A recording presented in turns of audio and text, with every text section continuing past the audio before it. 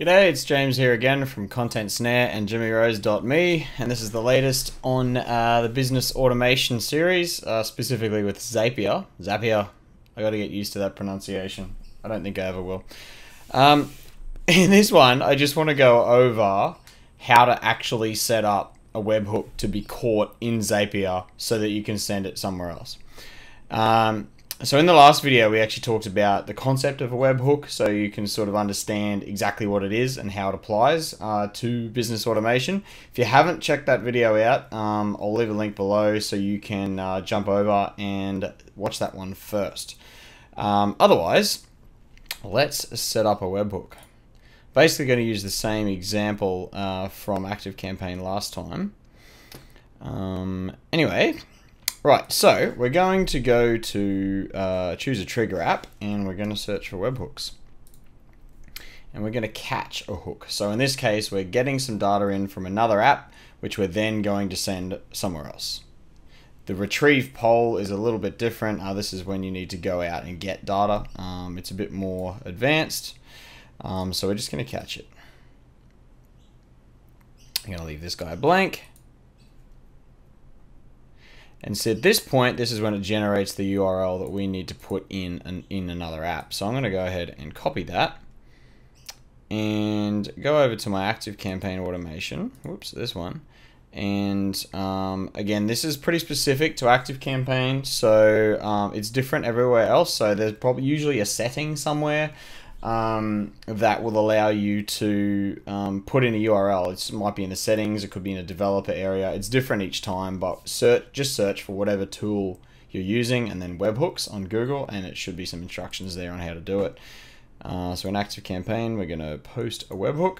And the only thing it gives us is the URL because it's basically just going to post um, all the data from whatever contact is in this automation currently.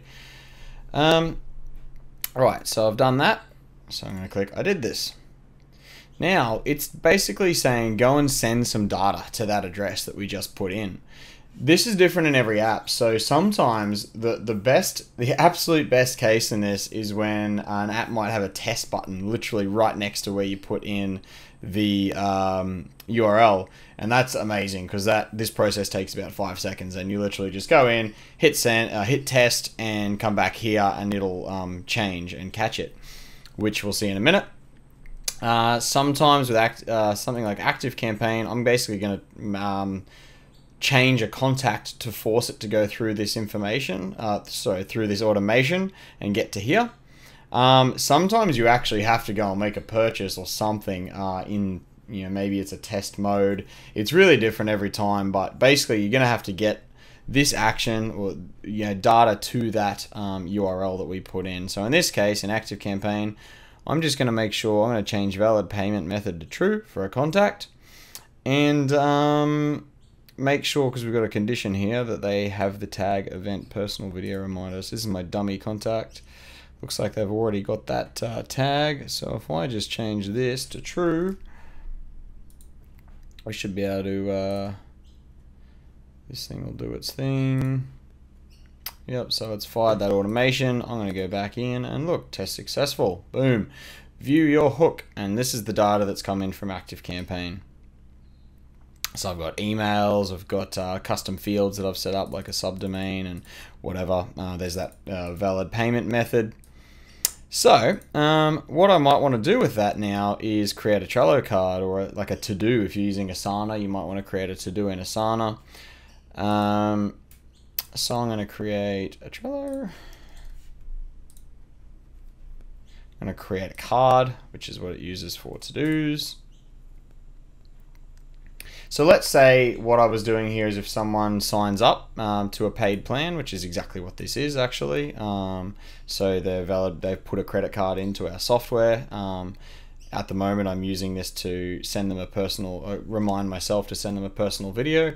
Um, but what you might, the other option um, I'm going to set up here is to just go and contact them. This is just an example, right? So I'm going to choose the Trello account that I've previously set up.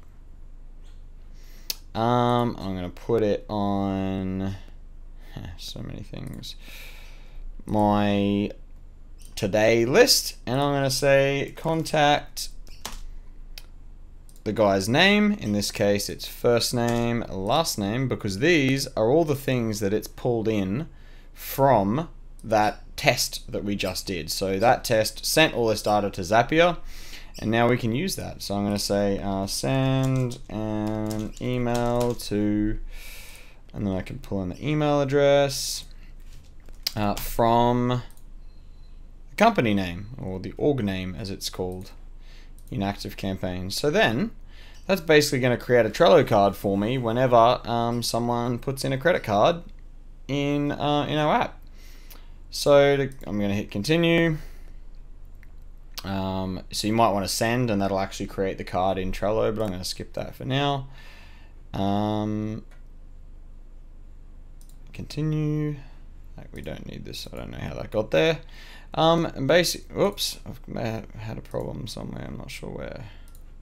Sometimes Zapier does weird stuff like this, um, so I just basically follow the links and eventually it, it's brought me back to here, so I'd um, give it a name and turn it on. So that's it, I've created a Zap that will catch a hook and create a to-do item for me uh, in Trello. Simple as that.